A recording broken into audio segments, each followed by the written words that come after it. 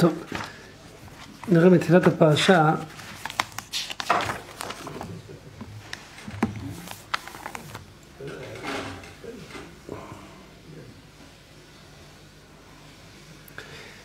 ואלה תולדות יצחק בן אברהם, אברהם הולד את יצחק. כותב רבנו ראשי, ואלה תולדות יצחק, יעקב ועשיו האמורים בפרשה. ידוע שדרכו של רבנו ראשי, כשהוא מביא איזה ביאור לפסוק, שלמד קצת רש"י על הגמרא, רש"י במשנה כותב הרבה פעמים, מפרש בגמרא. יש מישהו רש"י לא כותב מפרש בגמרא. מה, מה, מתי רש"י מחליט מתי לפרש את הפירוש במשנה, מתי מפרש בגמרא? אז הכיוון של רש"י, הקו שלו, כשזה דבר שמוכרח להבנת המשנה מיד, בלי זה אתה לא יכול להתקדם, אז הוא זורק לך קצת אור, מה הכוונה של השורה הזאת. וכשאפשר, אומר לך משנה, למשל אומרת כמה דברים בשבת לא, יצא, לא תצא בהם האישה. בסדר, אז מה נפקא מן עכשיו מה זה? הגמרא תפרש כל דבר מה זה, גבול, כובלת וכולי, אצל של פלטיון, זה כל מיני שמות כמו שאישה לא תצא בהם. מה זה כל דבר? זה רבע עמוד שבגמרא מה זה? אז רש"י לא יכול עכשיו את כל הגמרא במשנה. אז רש"י מפרש בגמרא. מה לא מפרש בגמרא? כי אתה תבין את זה כבר לבד. כלומר, אפשר ללמוד את המשנה בלי זה. המשנה אומרת, אל תצא באחד, שתיים, שלוש, ארבע, אישה לא תצא איתם. מה זה? את לא, לא, לא צריך להבין עכשיו כעת מה זה. קודם כל בזה לא יוצאים. גמרא תסביר מה זה. רוב המשניות, מחילה, אני תמיד שאלתי את השאלה ולא לא ירדתי לטוב דעת של הפירוט. רוב הפעמים הוא מסביר, ואחרי זה אני עוד פעם קורא את זה, והוא מסביר עוד פעם. איפה הוא מסביר עוד פעם? בגמרא? הגמרא מסבירה. הוא הסביר את המשנה. פשוט, נו, כן.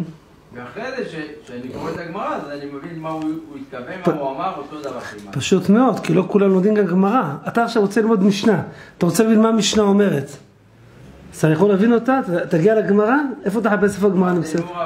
לא, לא, רגע, רגע, רגע, רגע, רגע. מה לפני רש"י? אתה מדבר עכשיו גמרא רש"י זה על הגמרא, אין רש"י על המשנה. כן, אבל יש את זה בגמרא, רק אין את זה בברטנורה. מה קשור ברטנורה לרש"י עכשיו? רש"י ראשון, ברטנורה זה 500 שנה. רש"י זה 900 שנה, 1,000 שנה. כן? אז על כל פנים, כשרש"י, רבנו ראשי מסביר במשנה, אז דרכו של רש"י ככה. כשהוא מסביר דבר ש... כלומר שהדבר סובל דיחוי, אז הוא מפרש בגמרא. כמו שאמרתי עכשיו, דוגמה, לא תצא אישה בכמה דברים, זה מצוי במסכת שבת הרבה, שהרבה משניות יש אורך גדול על המשנה, מה הביאור של המשנה. אז רש"י כותב, מפרש בגמרא, תחכה לגמרא, מה אתה רוצה? אפשר להבין, סובל הביאור של המשנה גם בלי הביאור כעת. אבל שים שים לב טוב, שים לב טוב. אבל מקומות שרבנו ראשי רואה שאי אפשר להבין את השורה הראשונה במשנה בלי הגמרא, אז הוא מבאר את הפירוש, אחר כך אתה שואל, למה בגמרא מפרש עוד פעם? הוא אומר, פירשתי במשנה, שהוא כבר פירש במשנה. אז כלומר, כשהוא היה מוכרע, פירש במשנה. וכשהוא לא מוכרע, אז הוא אומר, כי אתה מפרש בגמרא. רבנו ראשי כאן כותב, אותו דבר גם בחומש, כל דברי רבנו ראשי, כולם רוח הקודש. כולם דברי נבואה. כמו שרש"י כתב שם לגבי האפוד, רש"י אומר, וליבי אומר לי. זה וליבי אומר לי, איך אפשר לפרש חומש לפי ליבי אומר לי? מה זה ליבי אומר לי? אחד אומר, הלב שלי אומר ככה, הלב שלו אומר ככה, תשאיר את זה בלב שלך, תשאיר את זה בחוץ. עדיף שלא תוציא את זה בחוץ, כן? אבל פה רש"י אומר, וליבי אומר לי, כלומר זה דברי נבואה. כל הפירוש של רש"י על החומש כולו בכללותו, הוא מורכב ודאי מכל הש"ס, הוא פוסקים זה ודאי, וראשונים ודאי, אבל רש"י אומר, וליבי אומר לי, כלומר אין לי מקור לזה, אבל הלב שלי פה מדבר. מה זה הלב שלי פה מדבר? זה דברי נבואה. וידוע שיש מסורת שרבנו ראשי, בשעה שהוא כתב את הביאור הזה על החומש, על הפרשה הזאת, הוא נכשל כביכול באיזה ראייה של שרה אחת עברה לפניו. אישה מכובדת עברה לפניו, הגורה רוכבת על סוס עם האפוד הזה, הגור עליה. והיא, רבנו ראשי היה בצער גדול. למה הקדוש ברוך הוא זימן לו דבר כזה שפתאום יוצא רואה את השרה הזאת עוברת לפניו? רבנו ראשי גם בדבר כזה לא רצה להיכשל, גם לא, לא התכוון, לא שום דבר, אבל למה זימן לו השם דבר כזה? אז הוא עשה חשבון, עשה חשבון, כלומר, רבותינו כשהיה קורה להם דבר כזה, אם פתאום מזדמן לו מראה אחד, אומר, מה אני אשם, מה אני אשם? לא, לא מה אני אשם, הוא יחשוב רגע למה בא לו המראה הזה, כלומר, למה זה הזדמן לו, למה הוא זימן לו את הדבר הזה? הרי הוא לא היה צריך לראות את זה, הוא לא היה צריך לראות את זה, אז למה זימן לו את זה הקדוש ברוך הוא? אז רבנו ראשי עשה חשבון, כנראה עכשיו אני עוסק פרשת בגדי כהן, פרשת תרומה שם, אז אני רוצה עכשיו לבאר מה זה האפוד, מה זה האפוד? אומר ראשי, דיבי אומר לי שהוא כאלה שרות שחוגרות שם שרוכבות, מאיפה ראשי ידע את זה? מלא ראשי מלא שרות, עכשיו ראה שרות, מתי הולך להסתכל איך שרות לבשות בשעת רכיבה, אלא רבנו ראשי נזדמן לו הראייה הזאת, ולכן כתב מה שכתב. אז כל רב, דברי רבנו ראשי, דבריו דברי נבואה, כלומר, איפה שזה מוזכר בתלמוד וכדומה, אז ודאי ראשי קודם כל חולק מקום לתלמוד, מביא את המקום מהתלמוד.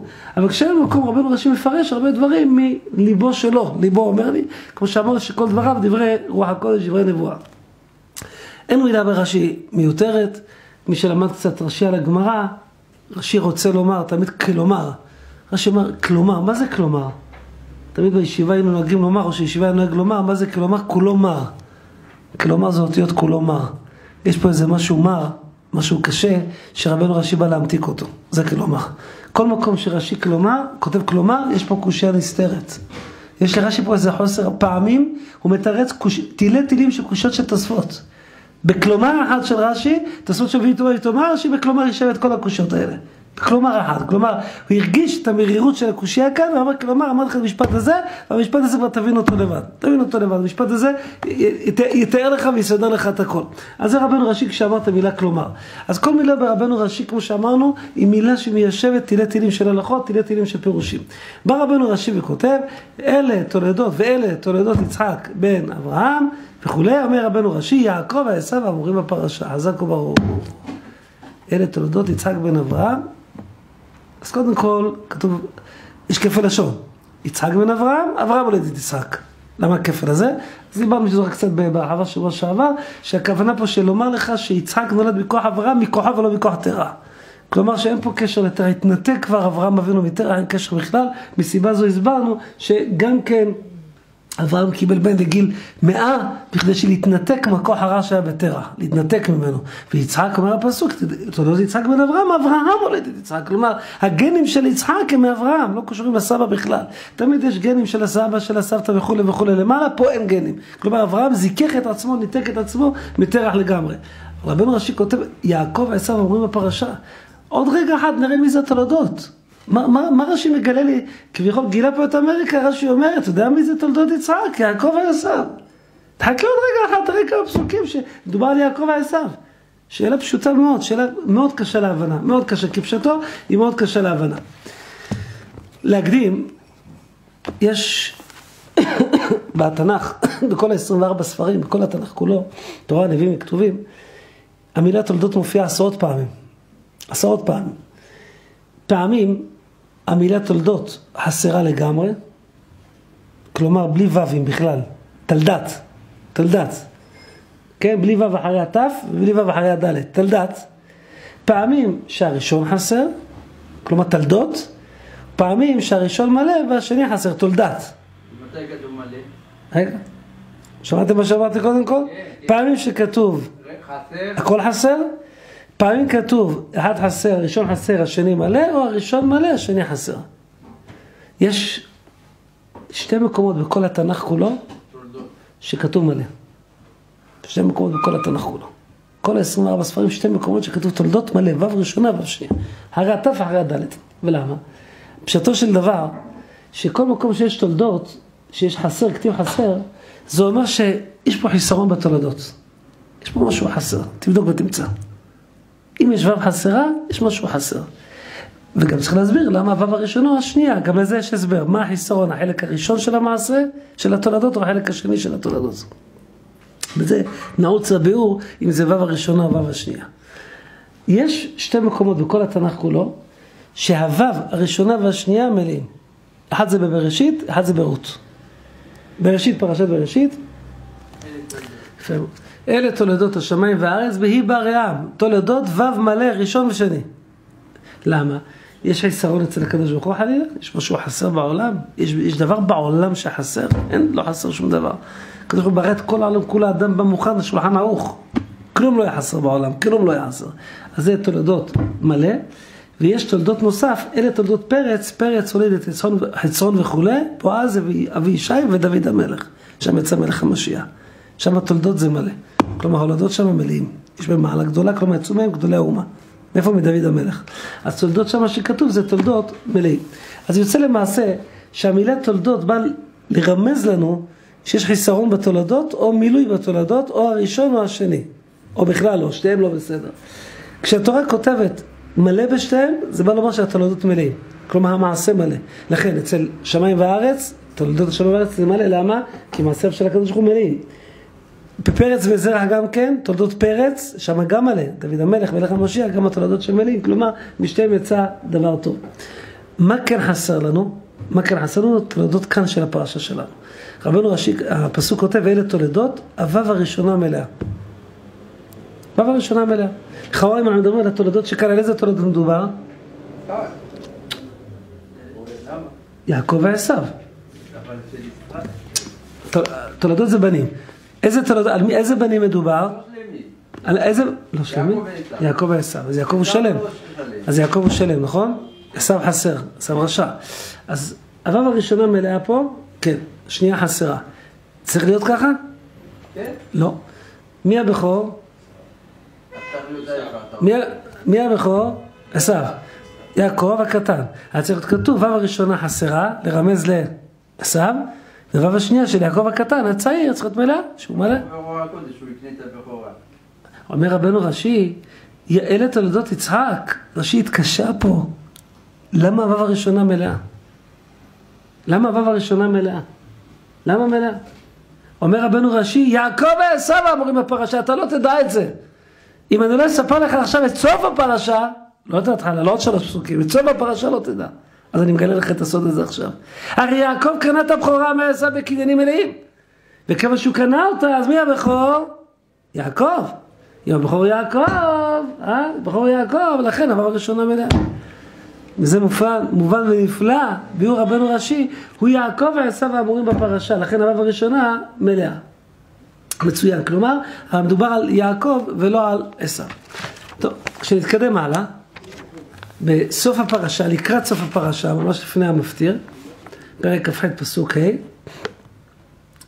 וישלח יצחק את יעקב אליך פדנה ארם, אל לבן בן בתואל הארמי, אחי רבקה, אם יעקב ועשיו. יופי. אז פה כבר כתוב, מבאר לנו, אם יעקב ועשיו, מפורש. אלה איך אפשר לקרוא בכורה? איך אפשר? במציאות זה הוא לא בכור. זה עשיו יצא ראשון. טוב, אז פה כתוב שכן מועיל דבר כזה, ויש את הקצות, בסדר, יש את, הפוסק, את הקצות, והחיים שואלים, הרי זה דבר שלא בא לעולם בכלל, יש קושיות יותר גדולות ממה שאתה חושב, בכלל זה לא בא לעולם עדיין, איך אפשר לקנות, אז לכן יש כמה בירורים איזה קניינים הוא עושה כדי שכן יתפוס, לא כזה עכשיו, זה פלפול גדול, איך בכלל קונים דבר שלא בא לעולם. הרי עדיין לא היה, זה עדיין לא היה, זה דבר שלא היה, אז קונים, זה הרי דבר שלא בא לעולם, ואין אדם קונה דבר שלא בא לעולם, אז בוא, זה לא, זה לא נושא שלנו עכשיו. אבל כל הפוסקים, נשפך הרבה דיו על השאלה הזאת. שאלה ששאלה הרבה תשובה, החיים הקדוש, הקצות העושר, הרבה הרבה מדברים על השאלה, אבל יש תשובה, זה תשובה, התשובות הפשוטות, תשובות קנייניות וענייניות. עכשיו, הקושי שלנו כעת, הפסוק אומר, אחי רבקה, אם יעקב ועשיו. אז קודם כל גילינו פה שהתורה נותנת חותמת, שמי הבכור? יעקב. הנה חותמת. הרי עשיו הוא הבכור. מה פתאום נהיה יעקב הבכור? אז אומר הפסוק, אם יעקב ועשיו. רגע, רגע, אם יעקב ועשיו. או רגע, אם יעקב ועשיו. כלומר שהנה הוא הבכור. אומר רבנו ראשי, מה זה אם יעקב ועשיו? איני יודע מה מלמדנו. לא יודע מה רוצה הפסוק הזה. מה קשה לרש"י? אה, מה קשה לו? אמרתי לך את זה הרבה תולדות. הרי בו"ב המלאה הראשונה אמרתי לך את זה. אתה הבנת מה זה אני יודע של רש"י? אומר רבנו ראשי, חיכיתי לסוף הפרשה, אני גיליתי לך את הסוד הזה כבר בהתחלה, התורה לא צריכה לכתוב אותו. שהרי כבר זה נאמר במילה, הוו הראשונה שהייתה צריכה להיות חסרה כנגד עשיו, והיא מלאה בגלל שלא אומר לך שיעקב קנה את הבכורה. אז אומר רבנו ראשי, אז אני לא מבין. אם התורה גילתה לי את זה בוו הראשונה, למה התורה חוזרת את זה בסוף הפרשה עוד פעם? אני יודע את זה כבר מהוו. נו, אולי בשביל עמי ארצות אתה אומר שלא למדו את הוו הראשונה, שלא קלטו את זה, הרבה הרי לא יודעים, אולי, לא יודע, לא יודע. אולי התורה חזרה ו... אולי, אולי תנאי כפול, אולי תנאי כפול. הרי יש בו את הבכורה, אולי תנאי כפול, לא יודע, לא יודע. רק, רק להבין את רבנו ראשי, מה אומר, איני יודע מה מלמדנו. ללמדך, רק אני אמרתי, זו נקודה קטנה, ללמדך כמה צריך להבין את רש"י. כמה דברי רש"י מתוקים מדבש, מתוקים מדבש. יש, יש כאלה קוראים רש"י שתיים מקרא אחת תרגום, כמו שקוראים את התרגום לא מבינים, כך את הרש"י לא מבינים. אז שום דבר, לא יוצאים מדחו, לא רש"י ולא שום דבר. ככה לומדים רש"י? אמרנו בשתיים מקרא ואחת תרגום, מרן, המלאך תפס את מרן הבית יוסף פעם, אמר לו, למה אתה קורא כך שתיים מקרא ואחת תרגום מהר? אני לא יודע מה זה מהר של מרן, אני לא יודע אם זה מהר שאנחנו קוראים אותו מהר, כן? אמר לו, למה אתה קורא מהר? אמר לו, כחוטא על הגחלים. כמו אדם שמנפנף שם על האש, עושה ככה מנפנף מהר. למה אתה כל כך שתיים מקרא? בעוונות הרבים אנחנו גם קוראים את זה קצת מהר. קצת מהר. אמרנו, אז איזה מהירות צריך לקרוא את זה? איזה הילוך צריך להעביר שקוראים את השתיים מקרא והתרגום אדם? אה, רבי שלמה, איזה הילוך אתה נוסע כשאתה קורא שתיים מקרא? מה מה קורה. אה, לא, איזה הילוך? בינוני. אני לא יודע מה זה בינוני. תשמע טוב, אמרנו כדי שיהיה לך שהות לעשות קושייה ותירוץ, להבין יש פה קושייה. אתה מבין כמה זמן זה? צריכים וידבר השם משה לאמור שתתבונן, מה יש קושי? זה לוקח זמן, אה? תראה כמה זמן, כדי שתוכל לקרוא את זה ב- ב- בזמן כזה, כדי שאדם נורמלי שקורא שורה, הוא מתבונן, הבנתי או לא הבנתי? יש פה הערה בפסוק, אין פה הערה בפסוק. על השתיים מקרא ואחד תרגום. רבנו ראשי זה הרבה יותר, רבנו ראשי זה הרבה יותר עומק, לא מספיק. זה הרבה יותר עומק, כמו שראינו עכשיו. רבע שעה רק להסביר שורה אחת ברש"י, שורה אחת. ומילים תמימות, מילים פשוטות, לא, לא נראים, נראים על פניו הכי קל להביא את השורות האלה. יש, אחד אומר, מה אתה רוצה ברש"י? מה זה, אתה לא מבין, הוא, יעקב אומרים בפרשה, הוא מספר לך שזה אלה. פשוט. רש"י אתה חושב ככה סתם? כותב סתם פירושים? בסוף הוא אומר, לא יודע מה מלמדנו. מה זה לא יודע מה מלמדנו? רש"י לא יודע? רש"י לא יודע מה מלמדנו? מה זה לא יודע? אני אגיד לך מה מלמדנו, שיעקב הוא הבכור, הייתי אומר את זה מזמרה לבד, כל אחד שקורא את זה, מה זה מה מלמדנו? פשוט מה מלמדנו, שיעקב הוא הבכור, כלומר שהתורה חותמת כאן, שטנץ חותמת, שיעקב הוא הבכור, אדרבה זה חידוש גדול, התורה מחדש חידוש גדול. אני לא יודע, אולי זה תנאי כפול. אולי זה תנאי כפול, כלומר לחזק את הדבר, אני אומר אולי, רש"י אומר אני יודע, טוב נו, זה דרשה לחזק את הדבר, אבל לא מסתבר שהתורה חזרה, זה בכזה רמז בשביל לחזק דבר. יש גם את רש"י להבין למה הוא לא יודע, מה הוא לא יודע להגיד, לחזק את הדבר. לנו שהקושייה לא תהיה גדולה מאוד, אולי, אני אומר, אולי, אולי, בתחיל ורוחים, אולי הכוונה לחזק את הדבר. כשהתורה חזרה זה פעם שנייה, תנאי כפול, היא לך שזה חותמת, אין פה ויכוח על זה. לא שמא ואולי, אולי דבר שלא בא לעולם, כן בא לעולם, לא, לא, התורה חותמת, שיעקב הוא הבכור. הרש"י הוא מתקשה במשהו, הוא אומר, אה, איזה מקור של אה, הרב משה דרשן, לא כן. זה הרב שלו, המורה שלו לדקדוק. כן, משה הדרשן, בטח, ודאי. אבל לדקדוק הוא היה, כן. הוא היה בקיא גדול, בקיא גדול היה, כן. אחד, אחד מהרבנים שלו, היו לו כמה, רבי יעקב בר יקר, יש לו כמה רבנים שהיו לו, רבנו ראשי, כמה, שלושה, ארבעה רבנים לפחות היו לו, שלומדים הרבה תורה. על כל פנים, אנחנו רואים כאן יסוד גדול. כשלומדים רש"י, צריך לדעת שכל דברי רש"י זה מסמרות. כלומר, זה חד מאוד, המילים של רש"י מאוד, נראים פשוטים מאוד, אמרנו עכשיו רק דוגמה קטנה קטנה, ורש"י כאלה במקרא מאות פעמים, מאות פעמים. בגמרא יש הרבה פעמים שרש"י מתרץ תילי תילים של קושיות של תוספות במילה אחת. זורק מילה אחת, וכשאתה, יש פה יהושע, מפרשים אחרים, אתה לומד אותם על הסוגיה, אומר רבנו רש"י, במילה הזאת תרץ כל קושיות תוספות. מילה אחת. זרק מילה אחת, הפיל את כל, כמו מגדל. כמו מגדל שנופל, כך הפיל את כל קושיות תוספות. במילה אחת. מילה אחת. זה, זה העומק של רבנו ראשי, מי שיודע את רבנו ראשי, קצרן ביותר. אנחנו רואים את זה בסרט בבא בתרא, בדף כ"ט. שם כתוב, כאן נפטר רבנו ראשי, מקרא מלך זה פירוש רשב"ם של הנכד שלו. איזה אריכות, גם באותו עמוד איזה אריכות, איזה ירידת הדורות, כלומר כמה צריך, לא חלילה הרשב"ם היה לא גדול, ודאי גדול העולם היה, אבל הוא כבר צריך להעריך הרבה, להעריך, רבנו ראשי בשורה אחת תמצא סוגיה. כן, אבל שורה. רש"י רש"י הקדוש כתב שלוש פעמים את החיבור. ורשב"ם כמה כתב? פעם אחת. איך אתה יודע?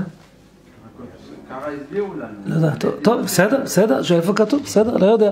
טוב, אתה בקיא בזה, טוב, אני לא יודע, לא בקיא בזה, טוב, ברוך השם. לא יודע. על כל פנים, רבנו ראשי כתב את הביאור שלו, רבנו ראשי כתב את הביאור שלו בקוצר שאין יותר קצר ממנו. מי בעולם יכול לקחת כזה ביאור של גמרות שלמות לתמצת בשורה אחת? נעזוב את הלשון, את הקוצר, קוצר, קוצר של לשון. הוא כותב סוגיה שלמה בשורה אחת. מתמצת אותה לשורה אחת, לארבע שורות, לשלוש שורות. תנסה אתה לכתוב סוגיה, אנחנו צריכים לכתוב סוגיה חצי עמוד או כמה דפים בשביל לסכם סוגיה קצרה. רבנו ראשי בשורה אחת מסכם לך את הסוגיה, זהו, גמרנו. זה העומק של דברי רבנו ראשי.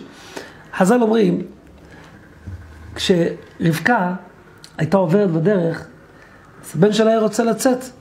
כשאתה הולכת ליד בתי כנסיות, רוצה לצאת. ליד בית עבודה זרה גם רוצה לצאת. ואתה אומר, כן, למה זה אנוכי? מה פירוש למה זה אנוכי? מה אני צריכה ילד כזה? אם הוא עובד עבודה זרה, אז אני לא צריכה ילד כזה. היא לא חשבה אולי זה תאומים? מה, לא היה מצב של תאומים פעם? מה? היא אז למה היא לא חשבה? בסדר, אז למה היא חשבה? נו, אז מה קרה? זה חשבה, אז אולי זה תאומים. לא חשבה, היא חשבה שאותו בן ילד. מה, מה? אבל זה לומד תורה בבטן, למה הוא רוצה לצאת? טוב לו שם.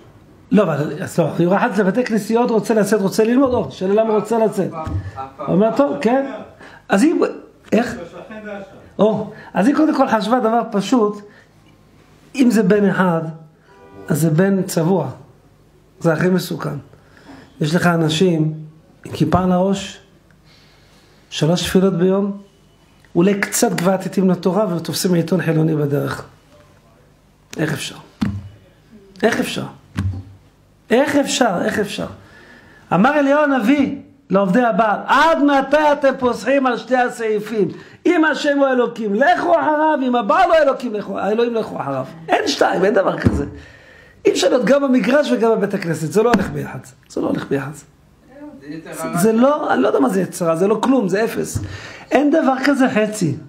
רבותיי, אין דבר כזה חצי, תכניסו לראש, אין דבר כזה חצי. אי אפשר שאדם יהיה בחתונה מעורבת חלילה עם כיפה על הראש.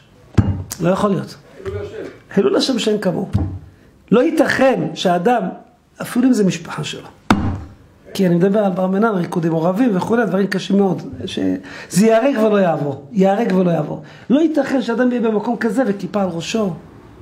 זקן יש לו בכלל, פאות בכלל, מה דחר שמה, מה לכהן בבית הקברות, מה אתה עושה פה בכלל? אחר כך בר מינן רואים אחד כזה, מה, פלוני היה, אלמוני היה, איזה עוון יקבל אותו אחד שקי, כמה למדו ממנו להיות, כי ראו אותו שמה. אז הם הולכים גם לאירוע- לאירועים אחרים בגלל שראו אותו. איזה היתר יש לזה? יש לזה היתר? יש לזה היתר, השם מרחם, איזה היתר יש לזה? איזה היתר? אדם יכול לעמוד באיזה מקום, לא כמו אותו, איזה רב ליאל שאמר, מה, אתה יש לך בת, אל תסתכל. יש איזה רב שנתן פסק כזה, לא רוצה להזכיר, השם מרחם, רשע מרושע. הוא אומר, אתה הבעיה שלך, למה אתה מסתכל?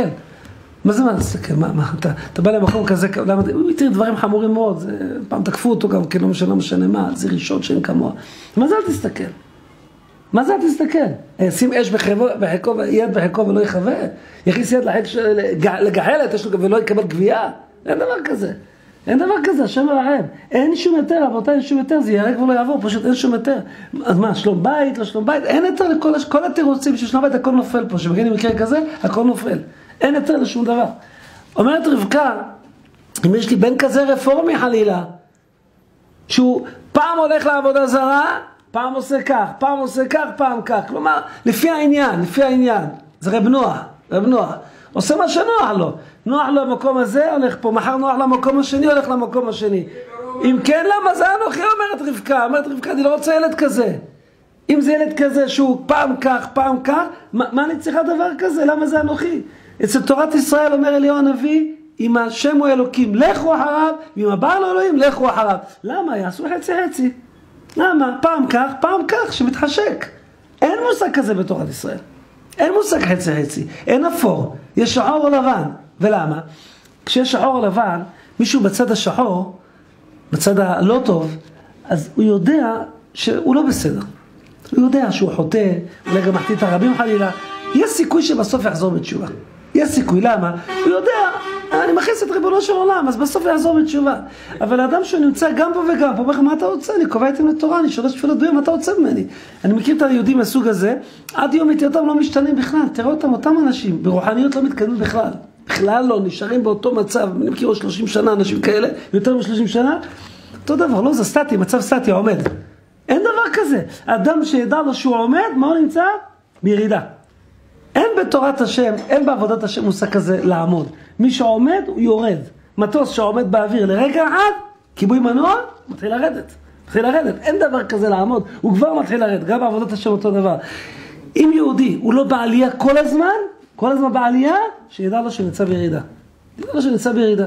חזון איש היה אומר, נזכיר את החזון איש, דיבר על ראש חודש כזה, ראש חודש כסלו. דיבר על כל ראשי החודשים. הוא כותב שהראש חודש של, הש... של החודש הוא סימן שקובע את כל החודש כולו. שימו לב טוב. כלומר, אם אדם למד הרבה בראש חודש הזה, זה סימן שכל החודש ילמד. תשמעו טוב, להרבות בתורה בראש חודש. להרבות בתורה. כי הראש חודש שאדם לומד כיום זה, זה סימן לכל החודש, כל ראשי החודשים ככה. כי ראש חודש הוא סימן לכל החודש, טוב אחרי דבר, מר ראשיתו. כלומר, ההתחלה היא זו שקובעת לכל החודש כולו. לכן אני אומר להרבות בתורה, להרבות בתורה בראש חודש, כדי שהחודש יהיה הרבה בתורה. כלומר, ירבה בתורה, זה החודש הזה, ראש חודש. אז אם כן, לכאורה, זו שפחדה רבקה אמרה, אם כן, למה זה אנוכי? אם מדובר לבן שמה שהוא גם זה וגם זה, אוי לנו לבן כזה, אוי ואבוי. כי בן כזה לעולם לא יחזור בתשובה, מתי יחזור בתשובה? תמיד יישאר רשע, למה? יגידו גם בכנסייה, גם במנזר, גם במסגד, עלילה וגם בבית הכנסת, מה זה סותר? אני גם פה וגם פה, מה אתה רוצה ממני? אחד כזה לעולם לא יחזור בתשובה. כן, כן, למה זה אנוכי? אם מדובר על בן אחד כזה שהוא כך וכך, למה זה אנוכי לא רוצה אותו? אבל בכל זאת, למה רצה לצאת כשהיא עמדה בבתי כנסיות ובתי מדרשות? כלומר, רוצה לצאת לשם. זה מה שבלבל אותה. רוצה לצאת לכאן, רוצה לצאת לשם, קשה לה מאוד ההבנה הזאת. אומר הרב מבריסק, כמו שהזכירו מקודם, הרי רבי הלוי כך הסביר, למה באמת יעקב רצה לצאת? למה רצה לצאת? יש לו מלאך! מלאך! לא מלאך הבלה. יש לו עשר מלאך הבלה, כן, אבל יש לו מלאך טוב מלמד אותו תורה בבטן אמו. מה, רע להיות להיות מלאך כזה? אה? לא למד. איפה כתוב שלמד? מי שלא רוצה לא לומד. לא, הוא לא רוצה. עוד מעט אני אסביר לך מי זה היה. עוד אסביר לך מי זה, תחכה קצת. עוד מעט תשמע מי זה היה. עוד מעט תשמע מי זה היה. אני כבר אסביר את הכל, יובן הכל. רגע, שנייה, שנייה, הוא ידע, הוא ידע את הכל, הוא ידע את הכל, הוא ידע את הכל, כבר נראה, כבר נראה. תשמעו טוב, אבות הרב נתן כתוב, אל תתחבר לרשע ואפילו לתורה. פלא פלאות. מה זה אפילו לתורה? אומר הגאון מווילנה ואפילו לקרבו לתורה. תראו כמה זה מפחיד. יש הרבה אנשים שמקרבים רשעים, ולפעמים נדבקים שם קצת.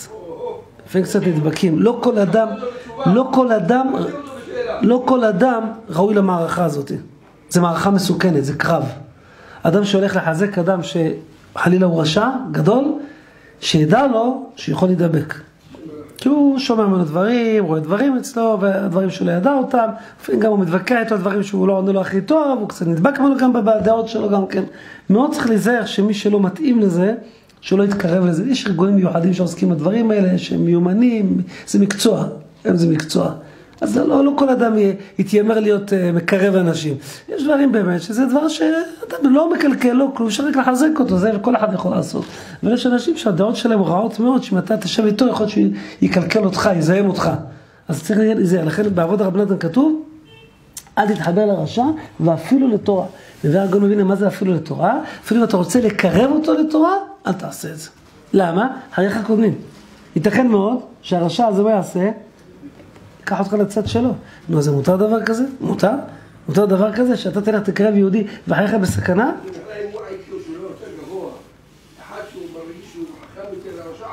נכון. נכון. נכון, נכון. עכשיו, השאלה, למעשה, שאלת השאלות, ידוע הוויכוח שם אנטונינוס ורבי, מתי יצר מגיע לגוף האדם? שאל אנטונינוס את רבי, את רבנו הקדוש, רבו, אנטונינוס קיסר רומי, שאל את רבנו הקדוש שהיו לומדים ביחד חברותא, לומדים קודם חברותא. שאל אותו, מתי יצרה מגיע? אז אמר לו, רבנו הקדוש, מה פשוט מתי? ביצירה, כשהוא נוצר. אמר לו, ביצירה? מה, מה פשוט? ייתן ביתה לאמא שלו ויצא.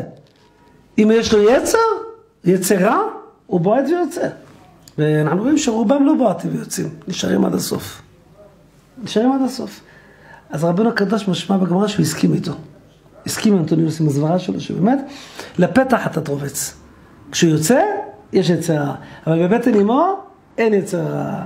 אז אם כן לכאורה, השאלה הזאת, שאלה אדירה ונוראה. אז אם כן לכאורה, אם אין יצר רע, אז איך הוא רצה בבטן אמו לצאת? איך רצה לצאת? הרי אתה אומר שאין יצר רע. אין יצר רע. ו- וזה מוסכם, זה לכולי עלמא. כך שואל השח, שפתי כהן, לא שפתי כהן. וזו השאלה, וזו השאלה, שימו לב טוב, זו השאלה, זו השאלה שהתקשתה רבקה. זו השאלה שהייתה לה. רבקה ידעה שהיצר בא מתי? ביציאה. לפתח אתה תרובץ. אם כן, למה זה אנוכי? אם הילד הזה כזה משונה, שכבר בבית, בבטני הוא רוצה לצאת, למה זה אנוכי? אני לא רוצה ילד משונה. ילד בעל מום זה. לא רוצה ילד כזה. כן, אתה אומר למה זה אנוכי? רגע, חכה, חכה. אה, אי אפשר להגיד חבל שיצא, תראה, זה טעות. בורא עולם שעשה דבר, תקשיב טוב, זה לא חבל, הכל בחשבון. הרי לא לשכוח שאנחנו גם חוזרים בתשובה בזכות הפחד מהדברים האלה. מה שאני מסנגר רק לשים לב. אוי ואבוי אם לא לנו את הפחד מישמעאל היום, איזה התבוללות הייתה היום. גם ככה מה יש שם מרחם? עם, עם הפחד. תחשוב אם חלילה לא יהיה פחד, מה קורה בעולם עם אומות העולם. השם מרחם, לפחות אומה אחת קצת מרוחקים מהם, לפחות האומה הזאת. בעולם יש הרבה התבוללות איומה ונוראה. לפחות עם האומה הזאת זה קצת פחות, השם מרחם זה קצת פחות. אבל טוב שיש את הדבר הזה, למה? כי אנחנו יודעים דבר מאוד, והיה כאשר תרידו פרקת עולם על צוואריך, אנחנו רואים את זה. הרי תמיד אנחנו שהמצב שלנו רוחני למעלה, אז הוא למטה. יש לנו את המאזניים, לשון מאזניים. מי שירא שמיים, מה זה? איך, איך? כן, כן, כן, זה שאני אומר עכשיו, לכן אי אפשר להגיד למה זה נהיה, זה, זה, זה מפחיד אותנו. אנחנו רואים מה שקורה בעולם, מה רוצים לעשות לעם ישראל. אם לא היה זה, אני לא יודע מה, מה היו עושים היום. אני לא רוצה לקטר ולדבר, רק זה מחזק אותנו. כלומר, כשאדם רואה, הוא אומר, תשמע, לא כוחי, לא רוצים לדעת, תראה מה מסביב מקיפים אותנו, אלמלא שהקדוש ברוך הוא שומר ומגן עלינו, אין סיכוי לצאת מכלום פה, מכלום. אנחנו רואים כמה דברים קטנים בדרום, קטנים, קטנים, כמה זה קטן, זה קטן. תראו, הכל מושבת, יומיים שלושה, אין שום דבר. כלום, כלום, כלום. קל וחומר חלילה זה כל הכיוונים, אז השם מרחם, השם מרחם. אז, אז, אז זה מחזיר אותנו. אז, אנחנו, אז רבי שלמה, אז רבי שלמה, אז זה מחזיר אותנו בתשובה, כשאנחנו, יש לנו פחד, פחד מ"על חרבך תחיה", מהמושג הזה "על חרבך תחיה", שאצל מימר אצל ישמעאל, אז אותנו זה קצת אה, מקרב לקדוש ברוך הוא, זה מקרב, מתפללים לקדוש ברוך הוא, מבקשים ממנו שישמור עלינו, שיציל אותנו, שם ישמור צאתנו ואוהנו וכולי, אז מבקשים על זה תפילה, מתפללים על זה, אבל אם היה פה מדינה כמו, אני יודע, שווייץ, שאין להם שום בעיה ביטחונית, אז מה אתה חושב, שמה היה קורה פה? אז, זה כל הטובה, זה שתעשה ושמעאל זה כל זה לטובתנו. לטובתנו כדי שאנחנו נחזור בתשובה. על כל פנים, מתרץ על שפתי כהן, זו התשובה שענה לשם. מה ענה לה? שני גויים בבטנך ושני לאומים ממעייך ייפרדו. הסיבה שהיצר נמצא אצל עשיו מהבטן, זה כדי שיריבו כבר מהבטן, שלעולם לא יהיה קשר לעשיו ויעקב. זו הסיבה שהם גם מהבטן. כי אם לא הייתה מריבה, שימו לב טוב, לא הייתה מריבה מהבטן, היום היה קשר בין עשיו ליעקב. אז אמר לו, תשמעי, שומע רבי שלמה, תשמע את התירוץ. אומרת, אומר שם לרבקה, תשמעי, עכשיו זה משהו מיוחד. יש לך משהו יוצא מן הכלל? נכון, השאלה שלך היא שאלה, כי בדרך כלל הפתח אתה רובץ, אצלך זה עוד בבט, בבטנך, יש את היצר הזה, ולמה? הוא אומר, כי שני גויים בבטנך, ממעייך ייפרדו. מהמעיים כבר, יש פירוד ביניהם, יש יצר. כלומר, להיפרד אחד מהשני. אם המריבה בין יעקב ועשיו לא הייתה מהבטן, היו יוצאים והיו משלימים אחד עם השני, ואוי לנו מה היה היום. אבל ברגע שממעייך ייפרדו, מהמים ייפרדו, לכן, לכן נעשה מה שנעשה. תשמעו טוב. יש פעמים שאנחנו באמת תמהים, גם בדור שלנו. אנחנו רואים רשעים קיצוניים מאוד. שונאי ישראל, שונאי דת. ואתה לא מבין, איזה רשות אלה? אתה, איך, איך אפשר להגיע לממדים כאלה? אתה אפילו לא מבין. כל הדורות כולם, ראינו הרבה רשעים. שמענו על הרבה רשעים. ואתה לא מבין, ריבונו עולמי, מה, מה השנאה התהומית הזאת לשומרי מצוות? מה השנאה? אתה לא מבין. ערבי לא שונאים ככה, אתה מבין? רגע, רגע, רגע, שנייה, שנייה, שנייה, שנייה, שנייה רגע, כלומר, אפילו אומה מאומות העולם הכי משוקצת, לא שונאים אותה כמו ששונאים את שומרי התורה. אני לא מדבר חלילה על כל עם ישראל, יש אנשים מסוימים בעם, אבל למה זה?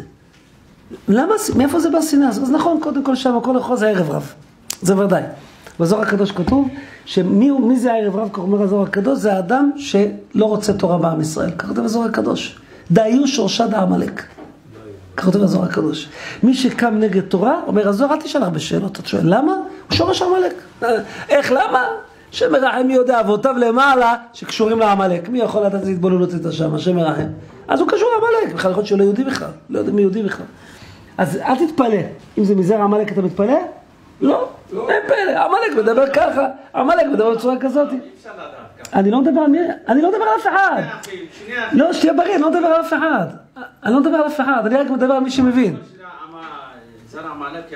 להיות שני אחים יוצאים בבית שני, נכון. אחד שומר הרב גדול, אחד מחלל את הכל. נכון, כן, בטח, כן, כן, כן, בטח, כן. השורש של הנשמה ירדה מלמעלה משורש עמלק, כן, ודאי. זה שתי נשמות, זה לא נשמה אחת, זה שתי נשמות. אחד, שורש נשמת ישראל, והשני, כן, כן, אותו בטן, כן, אותו בטן, הנשמה השנייה, שורש נשמת עמלק, אין שאלה בכלל. זה שתי נשמות שירדו, אין קשר בכלל, זה לא נשמה אחת חלקה לשתיים. זה כל אחת נשמה נפרדת, אין קשר. בעל ואישה זה נשמה אחת. זה כן. בצורה הקדוש כתוב שזה נשמה אחת שנפרדה לשתיים. ואיך הם נפרדים, מתגרשים? לא, אז הוא פירק את הנשמה שלו, לכן מזבח מוריד עליו דמעות. לכן מזבח מוריד עליו דמעות, לקח את הנשמה, חתך אותה במסור לשתיים, לכן מוריד לו דמעות. למה זה כואב? כי הוא חתך נשמה לשתיים. כן, בסדר, אין בעיה. זה לא אומר שזה לא כואב. לא, בסדר, זה לא אומר שזה לא כואב. זה כואב, אבל אני שואל, למה קורה, איך קורה הדבר כזה, איך קורה? התשובה זה בספר חסידים. ספר חסידים כותב שלפני שהקדוש ברוך הוא ברא את העולם, היה פה בריאה נוספת קודם בריאת העולם. עוד בריאה הייתה פה. היה אנשים שהקדוש ברוך הוא ברא אותם פה בעולם, לפני האדם הראשון. כותב ספר חסידים. היה פה עולם, עולם לפני. תתקעה דורות, כך הוא כותב, לפני בריאת העולם, 974 דורות, היה בורא נשמות. ראה הקדוש ברוך הוא, כיוון שבלי תורה הנשמות האלה רשעים גדולים ביותר.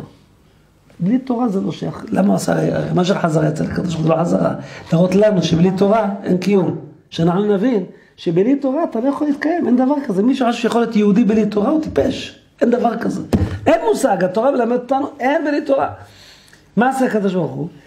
ראה שיש כאלה רשעים, לקח את כל הנשמות של ה-974 דורות הללו, הקפיא אותם. הקפיא אותם, לא הביא אותם לעולם הזה, הוריד אותם בכל דור שתל את הרשעים מהדורות האלה. שימו לב טוב. אותם הרשעים, הוא כותב בספר החסידים, מתתקעה דורות, 974 דורות, הרי הקדוש ברוך הוא בסופו של דבר, מתי נתן את התורה? הרי 26 דורות. מאדם הראשון עד משה רבנו זה 26 דורות. 10 עד נוח, 10 עד, אב- מה- 10 עד נוח, 10 עד אברהם, ועוד 6 דורות עד משה רבנו. 26 דורות.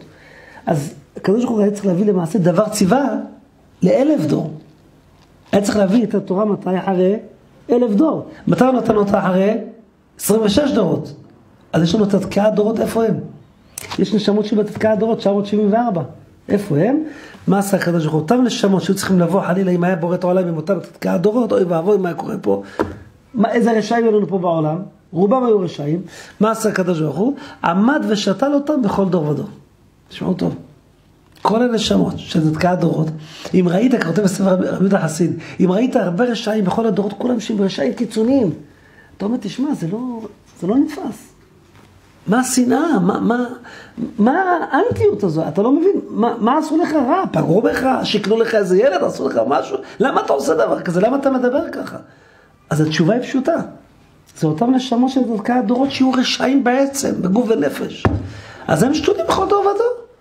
אז אל תתפלא, אל תתפלא. לפי זה, הוא הסביר את, אה, את אותו גמרא, שם פסוק בגמרא ביומא.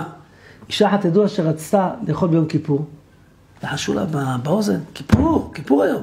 לא עזר. נולד לה בן, מה קראו אותו? קראו עליו זור רשעים מרחם. מה זה זור רשעים מרחם? רשעים מרחם? ממתי יש רשע מרחם? יש רשע בחוץ. ממתי יש רשע מרחם? אה, מאיפה אתם מכירים מה זה רשע מרחם? לא, לא. לא, לא, מה זה רשע מרחם? הוא מסכן, מה הוא רשע? אז הוא לא רשע, אז הוא לא רשע, מה זה זור רשע מרחם? אומר רבי יהודה החסיד, זה אותם תתקעת דורות.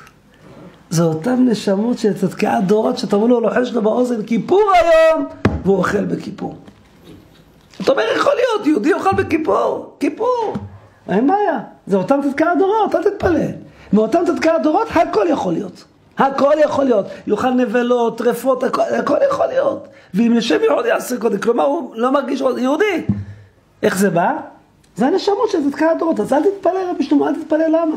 אין פלא בכלל למה. אומר המהר"ם בן חביב, זה פלא פלאות, הוא כותב שלמעשה, בזה נסיים, כתוב שיצר רע שולט באדם ביציאה, שימו לב טוב, תראה צירוס נפלא. באמת זה מוסכם שיש יצרה גם בגוף האישה. כלומר, העובר בה באותו עובר יש יצרה, הוא לא שולט עליו. הוא לא משתלט עליו, יש. אומר, שליטה זה כשהוא יוצא. שליטה יש כשהוא יוצא לאוויר העולם. כשהוא בבטן אמו זה לא שליטה. אז שזה לא סותר, כך הוא מסביר. למעשה בזה הסביר, שומע רבי אפרים, בזה הוא הסביר את העניין הזה, אם יש יצר הרע או אין יצר הרע בגוף, בגוף האישה, כלומר שהוא עובר מרחם. כל פנים לנו, אני אומר, אולי קצת זה ללמד זכות אולי, אולי ללמד זכות על אותם רשעים גדולים, שאתה לא מבין איך הגיעו לרשעות הזאת. אני מלמד עליהם זכות רק, שאולי הם מאותם תתקעה דורות. כמו שכתוב רבי יהודה חסיד, אם זה מאותם תתקעה דורות אז קשה, קשה, קשה להם אחרת. פשוט זה, השורש רקוב. כשהשורש רקוב אז אל תתפלא, אל תתפלא. זה נפקא מינה שאנחנו לפחות נאהב אותם, לא שנתחבר אליהם. זאת אומרת, נלמד עליהם זכות, להתחבר לרשע צריך להיזהר כמו שאמרנו. אל תתחבר לרשע אפילו, אפילו לתורה. מה זה אפילו לתורה? אפילו לא, לא לקרב אותו, כי אתה לא, שלא תתקלקל ממנו. אבל ללמד זכות, אנחנו כן יכולים ללמד זכות על אותם רשעים מסכנים ואומללים, שמה שהם מגיעים למצב כזה זה בגלל שהם אותם תתקעה דורות, ולפי זה הכל מובן לנו כמן חומר. הרי אתה אומר, איך יכול להיות דבר כזה? איך? אתה, אתה, אתה מנסה, אני, לפעמים אני אומר לי דברים שאנשים מסוימים אומרים, אני אומר, איך הוא אומר דבר כזה? הוא יהודי. הוא יהודי. אז תאכל אתה מה שאתה רוצה, אבל לכפות את האכילות שלך על האחרים, לכפות את החילול שבת שלך על האחרים, זה לא מובן. ועוד כל אחד מתגאה ומקדם את השני שיעשה כמוהו. זה יותר גרוע, הם מנסים כאן לקרוא אחד את השני לעשות חילול שבת, השם מרחם. אתה לא מבין איך קורה דבר כזה. זה כאילו בכוח, הרי איך אומרים בלשון שלהם, איש באמונתו יחיה. מדברים זה, הפסוק לא ככה, זה מעוברת. זה צדיק באמונתו יחיה. הם אומרים איש. אז מה זה איש הכוונה? כל אחד יעשה מה שמאמין. אז למה אתה כופה לנו את הכפיות שלך? הם כופים עלינו את זה. לא אנחנו כופים עליהם, הם כופים עלינו. זה כפייה חילונית. זה נקרא כפייה. אז זה שאמרנו עכשיו. אז נפקא מינה שאל תתפלא. אל תתפלא. אומר רבי יהודה החסיד, זה תתקעת דורות. אם אתה רואה רשעים בצורה קיצונית מאוד, ואתה שואל שאלה, איך יהיה הדברים האלה, זה לא קושייה. יש התגעת דורות שהקדוש ברוך הוא רצה להראות לנו איך יהודי נראה בלי תורה, איך יהודי נראה בלי תורה, כי יש אנשים משום מה חושבים, בלי תורה הם אנשים טובים. יש אנשים ככה בעולם חושבים, מה, גם בלי תורה אני בן אדם טוב, אני איש טוב, אני לא הורג אנשים, לא צריך לדעת. אין מושג כזה בלי תורה להיות בן אדם טוב, אין דבר כזה. צא וראה, תתקעה דורות. מי הם? תחפש אותם מי הם? זה אותם רשעים קיצוניים, שראיתי אותם שתולים בכל דור ודור, הם אותם אנשים שתתקעה דורות. השם יזכה בעזר השם, שיזכה אותם ואותנו לחזור בתשובה שלמה, ונזכה לגאולה שלמה במהרה בימינו אמן. רבי יהודה החסיד כותב את זה. מה זה פה רשום לך? לפני בריאת העולם. נו. תורה ושיא הכבוד מה זה? משה המשיח נו, אבל, המקדש אבל, אבל עוד פעם, יש התקיעת דורות ש... יש התקיעת דורות, מה השאלה? אתה רוצה לראות את זה? אתה רוצה לראות את זה? תכתוב לך ספר חסידים, אלף קל"ז, אות, יש שם זה אותיות, לפי אותיות. אות אלף קל"ז.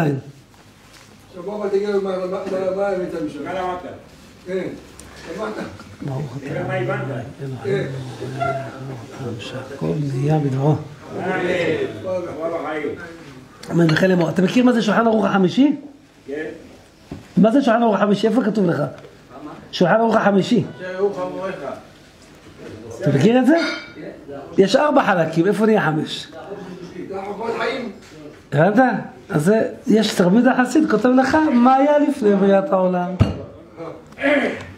הוא היה מבעלי התוספות. זה היה מבעלי התוספות. ראשון, קרוב לאלף שנה. קרוב לאלף שנה. טוב.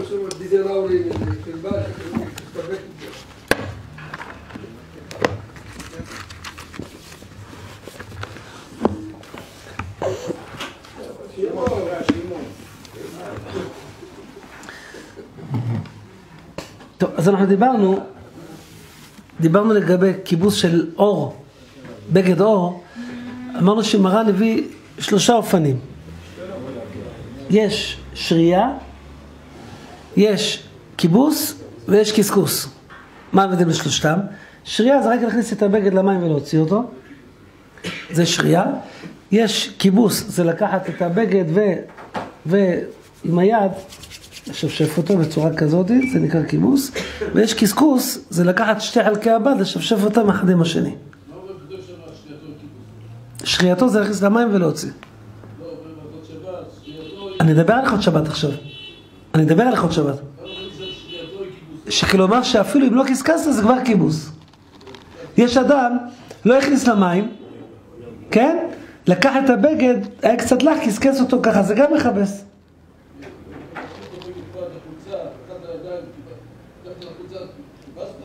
בוא נראה את זה כבר. אני כבר, כבר נדבר על זה. הכל זה כבר נדבר בעזר השם, נקווה שנספיק נדבר על כל הפרטים הללו בעזר השם. אז מרן כאן מדבר על בגד אור, ובגד אור מרן מביא את הביאור הראשון, כלומר, מותר ליתן מים לגבי מנהל לשכשכו, מה זה לשכשכו? הכוונה, מה זה? לא, לא לשפשף, לא. זה לשרות אותו במים. לשכשך, המשנה ברורה מסביר, נותן עליו מים עד שיכלה הלכלוך, וזה נקרא שכשוך. נותן עליו מים עד שיכלה הלכלוך, וזה נקרא שכשוך. אז שכשוך פירושו להכניס אותו למים, לזרם מים, או שתפתח לה את הטוש של המקלחת. אני מדבר כאן על בגד אור, חלילה, כן? לא, לא בד, אור. כי אור למעשה אין לו בליעה, אז זה בעיה זה כיבוס למעשה, רק אם אתה מנקה את הבגד שבתוכו או לא, אז מרן כותב, מותר לשפוך עליו מים בחוזק, אבל לחפשו, דהיינו שמשפשף צידו זה על צידו זה, אסור. אז, כן, אז מרן כותב ככה, לשרות עליו מים, בגד אור, לשרות אותו במים, מותר. לשפשף צד בצד, אסור. מה הדין אבל עם היד לחכך אותו בצורה כזאת? מרן לא כתב את זה. זה אופן שלישי. מה? מה, מה נראה ככיבוס? מה נראה ככיבוס? מה לא? בספר גדולות אלישע, הביא שמרן סותר מתחילה לסוף. למה? מרן כותב, שומע רבי שלמה, מרן כותב, שלשרות בגד אור במים מותר. משמע, לשפשף ביד, הוא לא סופר. רגע, משמע לשפשף ביד? לא. אם מרן כותב רק לשרות מותר, מה משמע? שלשכשך ביד? אסור. בסוף ממשיך מרן וכותב, לחכך שתי צדדים אסור. משמע לשפשף ביד? מותר. אז יכול מרן סותר מרשע לסיפא. לא, לא מבין. פשוט. אם בגד רטוב, אני יכול לשפשף ביד ככה? לא, לא. לא בגד, חס ושלום, זה האור? או, אני אמרתי, אני הדגשתי, אוי ואבוי, שלא יטרוח, חלילה, מדובר על בגד אור שלא בולע. זה לא בולע. רק מה, יש פה מושג נוסף שקוראים לו ניקוי בגד. המשנה ברורה כותב כאן שגם ניקוי בגד אור יש לו איסור תורה כשהוא מכבס אותו, איסור תורה. כי זה נראה כמכבס. לא, אין דרך כיבוס. באור לא. לא, באור אין דרך כיבוס. למה? כי אור לא בולע. אבל ברגע, למעשה ככה, אור, כותב הרמב"ם, לא בולע בכלל, אז יכול להיות בו כיבוס בכלל. אבל כשרואים אותך משפשף, מה אומרים? נראה ככיבוס. לא, אז אני מסביר עוד פעם. השרייה הבאה שלי זה משום מכבס, זה לא מכבס. כשאתה עושה פעולה, אתה מתחיל להתעסק עם פעולות, אז אתה נראה כמכבס. לכן מרן אוסר את זה. השאלה מה קורה באמצע? מה קורה באמצע? אם אתה נעזר ביד. אז אמרתי שמרישה של מרן משמע שהדבר יהיה אסור, כי מרן אומר לשרות מותר. משמע לשפשף ביד, אסור. בספר כתוב לשפשף שתי חלקים אסור, משמע ביד, מותר. סתירה? המשנה ברורה כותב, לשיטתו, שאור זה גם כיבוס מדאורייתא, לדעת המשנה ברורה, כתוב ספק דאורייתא לחומך. אבל בספר גדולת האישה, כותב שהמנהג להקל. לכן גם בבגד אור ההלכה למעשה תהיה. מה זה? לא, לא, לא. הוא טוען שיש כיבוס, תראה משנה ראש בביאור הלכה ארוך שמעריך, הוא כותב שזה דאורייתא, כן. ככה הוא כותב שזה ביאור, יש לו מהלך גדול פה, תראה ביאור הלכה ש"ב, סעיף ט', יש ביאור הלכה ענק פה, ענק. ענק, ענק, תשמע טוב, הוא אומר הכיבוס, כשאתה מסיר ממנו את הלכלוך ביד בכוח, זה נחשב כיבוס דאורייתא, זה תת משנה ברורה. אני מסביר, לא, לא, אז אני מסביר לך עכשיו, יש מהלך פה למשנה ברורה, הוא מבאר את הרמב"ם אחרת. יש פה רמב"ם, יש רמב"ם מפורש שכותב שפטור על זה.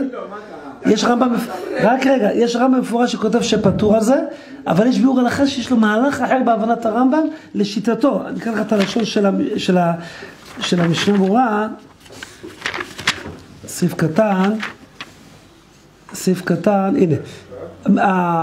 כאן הוא כותב שמשפשף צידו, על צידו זה אסור, וחיובה נמי איכא. שומע? חיובה נמי איכא. מה זה חיוב? מה זה חיוב? רגע, רגע. לא, רגע, רגע, רגע. דקיבוס, רק רגע, דקיבוס שייך אב באורות. דקיבוס שייך אב באורות. עכשיו, רגע, עכשיו, אם אני צריך לענות לך עכשיו זה יהיה שיעור פרטי כבר. בשיעור פרטי אני לא באתי היום לזה. לא, לא, אז אני אתן לך חום מראה מקומות לשיעור הבא. יש ביאור הלכה ענק, בין הגדולים ביותר בהלכות שבת כאן, שכאן הוא מסביר למה זה דאורייתא. ולמרות שברמב"ם כתוב לא ככה. ברמב"ם כתוב שהסוחט בהגד עד שיוציא המים הרי זה חייב בסדר, בסדר, בסדר, בסדר, שנייה. הרמב"ם כותב ואין סחיטה בשיער רגע, רגע, רגע, רגע, רגע, רגע, רגע, רגע, רגע, רגע, שנייה. שנייה רגע, שנייה, שנייה, שנייה. לשון הרמב"ם, אין סחיטה בשיער והוא הדין בעור שאין חייבים על סחיטתו. אז הוא רוצה לדייק מהרמב"ם שסחיטה לא, אבל כיבוס כן. הבנתם? אחזת ראש או לא אחזת ראש? הוא רוצה לומר, מה שהרמב"ם כותב, אין חיוב על, על, על אור, מה אין חיוב עליו? על הסחיטה שלו. שם זה מצד בולע, אבל כיבוס כן יהיה. אז זה, אז זה מהלך של המשנה זה חידוש גדול. בסופו הוא מסיים וצריך עיון. יש לו מהלך ברמב"ם, הוא מסיים וצריך עיון, זה המסקנה של הביאור הלכה, ולכן, לכתחילה, אם אדם רוצה לשפשף אור בצורה כזאת, כלומר אם זה מנעל, דוגמה, יתלכלך לו עכשיו המנעל או הקרוקס שלו, הפלסטיק, לא משנה מה, יתלכלך לו עכשיו במל, בבוץ וכדומה, הוא רוצה לשים אותו בטוש ולנקות אותו עם היד, אם זה לא מוכרח, כלומר אם אתה יכול לנקות אותו רק עם זרם חזק, עדיף שתשאיר אותו עם הזרם החזק. אם אין ברירה, המקל יש לו על מה לסמוך. זה מחלוקת, בספר גדולות אלישע כתב שאפשר להקל באור גם כשהוא משפשף ביד, ורק כשהוא משפשף צד בצד זה אסור. אם זה מתייבש על העור, עם מברשת. מה אם טוחן? בלי מה, היא תתייבש. עם המברשת, הוא שיבש, יורד. אם אין מים אז אין בעיה. אבל חומרי ניקוי אסור, אבל יש גם יש לו תשובה, שאם אדם מנקה עם חומרי ניקוי, למשל שם אקונו- אקונומיקה, או חומרי ניקוי על אור, גם זה איסור דאורייתא. גם הרב שבט הלוי כך סובר, הרב אוזנר. לא, מוקצה לא. זה לא מוקצה, צריך להשתמש בו לצור גופו במקומו.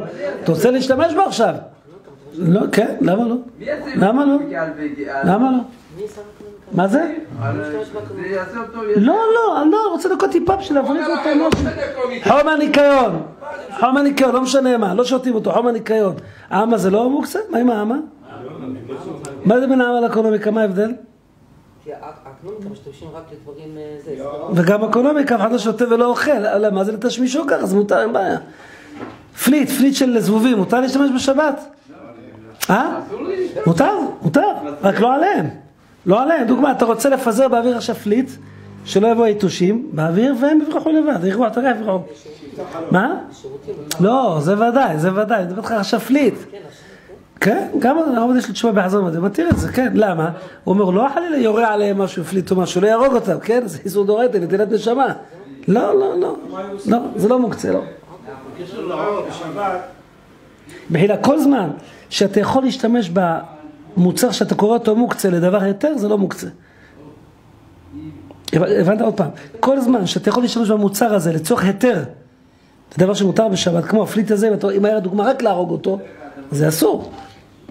דוגמה, רעל שלך, כן, רוצה עכשיו דוגמה לשים לו עכשיו כל מיני דברים שהורג אותו באותו רגע, זה אסור. אבל דבר שאני זורק באוויר, זה רק דוחה אותם, זה מותר. נפתלין זה מוקצה? מה? נפתלין זה מוקצה? מה זה נפתלין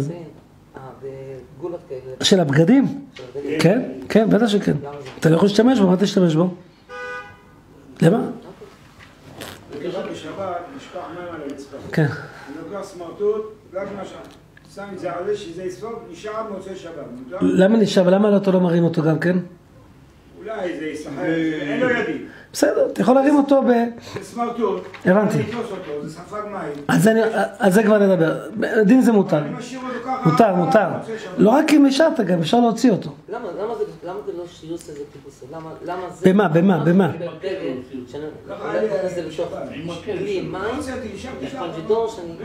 פשוט, פשוט, פשוט, כי זה דרך לכלוך. זה דרך לכלוך. גם כן, זה דרך לכלוך, אתה מנקה את, כן, אתה מנקה את הרצפה עכשיו, זה דרך לכלוך, סמרטוט בכיור, מה ההבדל? אותו דבר. דרך לכלוך. וחוץ מזה, אם הסמרטוט נקי זה עוד יותר קל. כי האשכנזים מחמירים בזה. האשכנזים מחמירים, למה? המשנה ברורה כותב שבבגד נאה כבר זה תלוי במחלוקת, אם בבגד נקי אומרים שרייתו זה כיבוסו או לא. גם זה להחמיר. כן.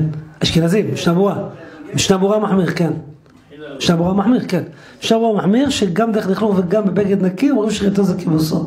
נוכח כבר שמדעת מרן זה מותר, אבל גם למרן יש מקום להחמיר. כבר נוכיח את זה ממרן, שמרן גם דעתו שכנראה צריך להחמיר גם כן. ודאי, ודאי, מה השאלה? ודאי, מה השאלה? ודאי, מה השאלה? ודאי, מה השאלה? ודאי, מה השאלה? כן. שבגד עור לא סופג מים. אני- לפני שאני יודע, אז לעשות אותו במים הוא יתנפח. בגד עור? מתנפח? עור זה עור מזויף, זה זה עור מזויף. זה עור זה עור מזויף זה. בלון, עור לא בולע שום דבר. מתנפח, מתנפח. סקאי אולי, לא יודע מה הוא אומר, אבל עור לא... תשפוך עכשיו נעל מים על עור, ייכנס המים לנעל? לא. ייכנס? לא, לא. לא שומע. לא, לא. לא ייכנס, אז גמרנו. למעלה לא, אבל מהצדדים. אז יש חור שם. אז יש חור. לא, החיתוך שלו לא, יש חור. סופג. לא, לא, לא בודק שום דבר, אין לך לדאוג, זה לא סופג. תיקח עליו עכשיו עור, תשפוך עליו מים, תראה, בפנים אין שום דבר. לא נכנס שום דבר, כמו ניילון, ניילון סופג? אותו דבר, כמו ניילון. במעבדה גילו שיש בליעה של אחת ל... יש במעבדה גם ניילון בולע, אבל אחת ל... אחת למאה אלף. כלומר, אחת לאחוז, באחוזים של אחת למאה אלף. זה כלום. וככה מותר כן לנקות? אם מתחזק פה, מבפנים? מבפנים כן, זה שינוי. מה- למה? אתה לא עושה עם מים חס ושלום. זה בלי מים, בלי מים, עם מים זה איסור דאורייתא. מים זה איסור דאורייתא. מה פתאום? זה מכבס בשינוי מותר? מכבס בשינוי זה איסור דרבנן. מכבס בשינוי זה איסור דרבנן. נתינת המים, אם אדם שם את הרוק שלו, מוציא מעט רוק, שם על הכתם, איסור דאורייתא.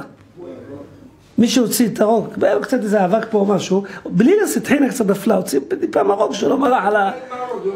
מה? אותו דבר, אותו דבר, אותו דבר. מה? זה דרך כיבוס. ככה רגילים, שמתלכלך על אדם כתם קטן, מנקה בצורה כזאת. אם לא ראית אדם שלו הולך שלט לניקוי יבש? כן, יש לו טיפה לכלוך עליו, איסטין כזה, תראה כל אדם, מתלכלך עליו טיפה נופל עליו לכלוך קטן, הוא הולך לשטוף אותו במים? לא, פירור קטן, מעט מהרוג שלו, מוציא מנקה אותו, כך וזהו. ניקוי במים, ניקוי במים. זה איסור דאורייתא. לא רק זה, הרב בן ציון עליו השלום הוסיף ואמר, גם אלה ששמים מלח וטלק, גם איסור דאורייתא. טלק. טלק, שואב את השמן, שואב את השמן. אז יש כאלה, זה חומרי ניקוי. זה- כן, כן, אבקה, אבקה של טלק, אבקת טלק, כן. אז יש הרבה שזורקים מלח, שיש להם שמן על המכנס, עם מלח, כדי שהמלח יספוג את השמן, גם זה מכבס. אז גם זה מכבס, גם טלק מכבס, אבקת טלק, וקל וחומר, שעם טיפת רוק הוא הוציא ושם בצורה כזאת על הבגד, אנשים לא עושים, כמה עשרות אנשים, אמרתי להם את זה, לא ידעו את זה. מה, מה עשיתי? רק טיפה רוק, מה טיפה רוק זה מכבס. ודאי, ודאי שעושים ככה, ודאי, ודאי, ודאי, ולא רק זה. רבי יוסף חיים כותב שמי שעשה דבר כזה בשבת, במזיד, או בשוגג, לא משנה, אם זה במזיד, אסור ללבוש את הבגד הזה לעולם. עכשיו, יש סתירה בין רב פעלים לתשובה שלו בבן איש חי. ברב פעלים הוא כתב שאפילו אם תחזור ותלכלך אותו ותכבס אותו שוב פעם, כביכול פנים חדשות באו לכאן, גם לא יעזור. הבגד הזה נשאר אסור לעולם, אי אפשר להחזיר אותו לתיקונו. זה כמו סיר של חמישי, בישל אותו בשבת במזיד. יש איזה תיק, כן. כן, לא משנה, כן. חיבס בשבת, לא משנה עם מה. יש שיעור לכיבוס בשבת? יש שיעור לכיבוס? כותב הרמב"ם המכבס בכל שיעור. כן, כן, מוסכם, מוסכם, אין חולק על זה. על ההלכה הזאת אין חולק. אם לא שמעת בישן, תשמע בחדש. לא, לא, חלילה שלא תעשה דבר כזה, אבל אם ראית שעושים דבר כזה, תעיר להם שזה איסור דאורייתא. ודאי, ודאי.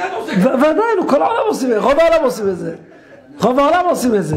עכשיו, עכשיו, זה, רגע, שנייה, זה איסור דאורייתא, רגע, זה איסור דאורייתא, איסור דאורייתא, ורבי יוסף חיים כותב ברב פעלים, שאם אדם חיפש דבר כזה במזיד, אסור ללבוש את הבגד לעולם, הוא נאסר לגמרי. בשבילו, אבל לאחרים מותר. האם כן? מי יקח את החליפה שלך? מי מהמידה שלך מתאים על האחרים? מתאים, מתאים, לא, לא. בסדר, אבל אתה... רגע, רגע, זה רב פעלים. בבן איש חי הוא כתב אחרת. חי הוא כתב שיועיל לתקן את הכיבוס הזה על ידי שילכלך אותו פעם נוספת, אנחנו ניקה אותו עם הרוג בשבת, ניקה אותו, ילכלך אותו פעם נוספת, אז ביטלנו את הניקוי הראשון, יכבס אותו בשנית, ועכשיו מותר ללבוש אותו. זה בבן איש חי, חמד עליו השלום בלכות עולם כתב, שכדבריו בבן איש חי עיקר ולא כרב פעלים. אבל כל פנים ברב פעלים כתוב שאין תיקון בחטא, אף כרשע חלילה וחס, שהוא עשה את זה בכוונה, אני לא מאמין שיהודי יעשה בכוונה, אבל אם עשה דבר כזה הוא שוגג, אז בכל מצב מוצא שבת זה מותר. שוגג, הלכת דאורייתא שנעשית בשבת, מוצא שבת זה מותר מיד. כמו כל מלך, כמו אדם שבישל בשבת, מותר מוצאי שבת, אם שעשה את זה בשוגג. אבל כשהוא עשה את זה חלילה חלילה במזיד, אני לא יודע אם יש לי יהודי כזה, קשה להגיד שהיה מזיד. להוציא את זה מיד? אה? את זה? כן. אם הוא עשה את זה, כן, בכל מצב גם בשוגג צריך להוציא את זה. גם בשוגג, להוציא צריך גם בשוגג, השאלה עד מתי זה אסור. צריך להוציא את החליפה מיד, לא להישאר את הלבוש, וגם במחיר שלא יוכל להתפלל במניין ואין לו חליפה אחרת, תישאר בבית. זה יסוד... היה סחבה על השיש, נפל כמה קריאות, שבתות, אני יכול להוציא אותה? ולא- עכשיו ככה. לא, מה שייך שינוי? מה שייך שינוי? השאלה ככה, הבעיה במפית הזאתי זה סחיטה. שאלה, די, הוא לא שוחק. מה אתה טועה? להרים, להרים. הרים אותה, זה יורד להרים לידיים. או שוחק ביד. לא שוחק, מרים אותה, הוא רוצה לשים אותה כמו שכבוד אמר. במקום אבל, כשהוא תופס, כשהוא תופס אותה, אם הוא יכול להרים אותה בכף, זה הכי טוב. כף, כף. כף כפית או כף, לא משנה מה, תכניס מלמטה, לא בשביל שינוי, אתה לא תסחט. הכפית היא שינוי. לא, לא צריך שינוי, אני צריך שלא תסחט. לא צריך שינוי, צריך שלא תסחט. לא צריך שינוי. אז אם אתה מרים את זה מלמטה, אתה לא תסחט, זה הכי טוב. אם אתה תדחף לו סכין או כף מלמטה, אתה מרים אותו ככה. עכשיו, עכשיו למרות שבגד... כן, שים אותו איפה שאתה רוצה. למרות שבגד רטוב, ההלכה היא שאסור לטלטל אותו אלא בשתי אנשים. אליה רבה כתב עש- יש כתוב אפילו עשרה, בישי כתב אפילו עשרה, אליה רבה כתב לא דווקא עשרה, אלא גם שתיים. ומה הסיבה למה? כי כשאחד יבוא לסחוט, השני יבוא להזכיר לו. זה בבגד שהאדם מקפיד עליו שלא יהיה רטוב. אבל סמרטוט, אתה מקפיד שהוא רטוב? שיהיה רטוב, זה הייעוד שלו, שיהיה רטוב. לא, למה אני מוציא אותה? בגלל כל פעם שופכים מים על זה, אז אני נהיה קיבוץ? בס, בס, נכון, השאלה אם לא, השאלה אם המטלית נקייה או לא נקייה. אם המטלית נקייה, אז זה תלוי במחלוקת מרן ורמה, אם בבגד נקי אומרים שידו זה כיבוסו או לא.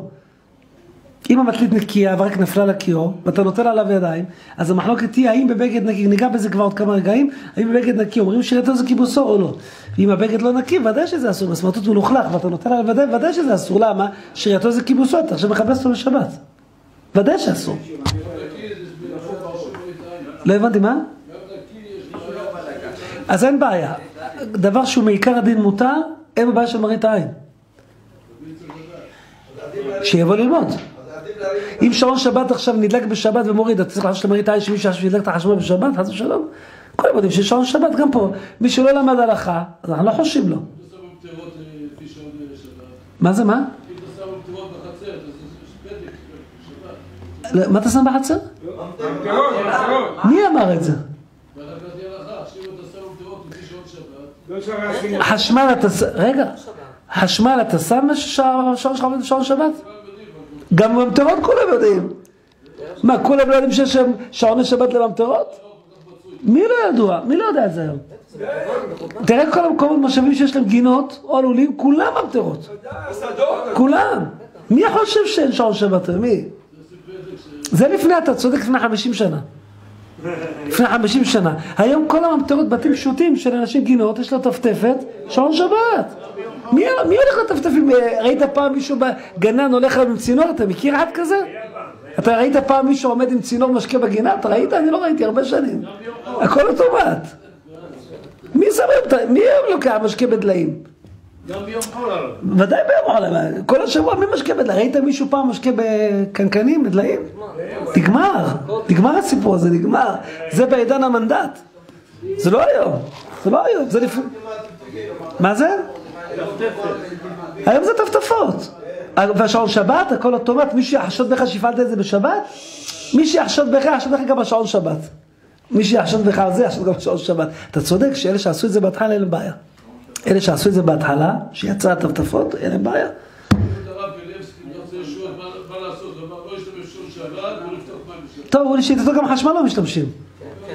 הוא בכלל גם חשמל לא משתמש, לא- הוא לא ראייה. אבל הוא לא ראייה, כי גם חשמל לא משתמש וגם לשאיבה, או חושב לשאיבה בשבת, בסדר, צדיק יסוד העולם, מה השאלה? אבל לציבור אני לא יכול לעשות דבר כזה. ודאי, מי שיכול, מי שיכול, קדוש יאמר.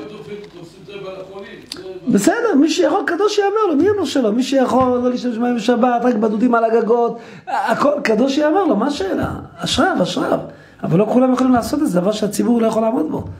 כל אחד עם דודים על הגגות, מי ייתן לך דוד על הגג? בסדר, בסדר, מי?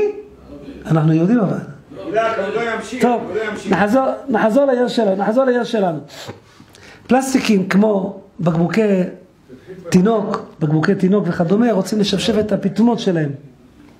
הרב אוירבך דעתו שזה מותר. למה? הוא אומר שמה זה לא כיבוס, זה פשוט להסיר את הלכלוך שנמצא על.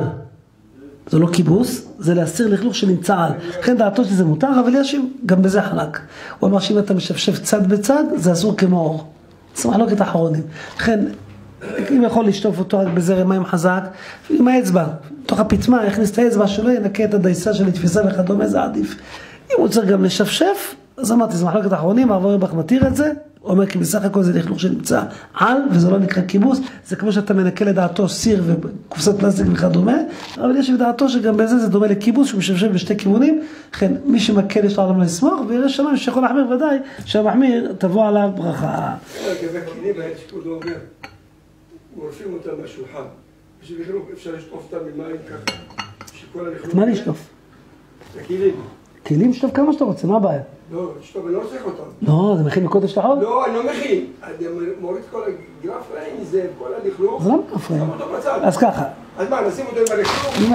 אם אם החשש שלך, אה, כן. שנייה, שנייה, רבי שלמה, שנייה, שנייה. אם החשש שלך שהלכלוך רק יזיק לך, כלומר, לא רק יזיק, אני אסביר. גם ב- ב- במוצאי שבת יהיה קשה מאוד אני. אומר, זה נקרא יזיק, כלומר שזה יידבק ויזיק לסיר, אז יש שתי דרכים. לכתחילה זה ליטול עליו ידיים. כשאתה נותן... זה לא יתנקה. לא, לא, לא, לא צריך, אני לא רוצה שיתנקה. אני רוצה שזה יהיה מושרה. שיהיה מושרה, לא, אבל לנקות אני לא רוצה לנקות, אני רק רוצה בהערמה לעשות שזה יהיה מושרה, ואז מוצאי שבת יהיה קל לנקות הסיר. אבל אני אסור לי לנקות אותו. אני בשבת לא בא לנקות, אתה אומר לי עכשיו הנה נזקים. אז אני רוצה למזער לך לנזקים. תשים את הסיר בכיור. או זה... דין, זה דין, זה דין. של לשטוף כלים בשבת, לצורך מוצאי שבת זה אסור. אני עוד פעם, אני לא שוטר, רבנו. אז מה אתה עושה? מרכך אותם. אנשים בשבילו סלט, בשבילו זה... בסדר, אז תרכך אותם, אין לי בעיה. אז אתה נותן על זה ידיים וזהו, זה נקרא בהרמה. אני רוצה להוציא את זה מה- מה- תוציא אותם אחרי זה, אחרי זה תוציא אותם, אחרי שנטלו ידיים, תוציא אותם, מה הבעיה?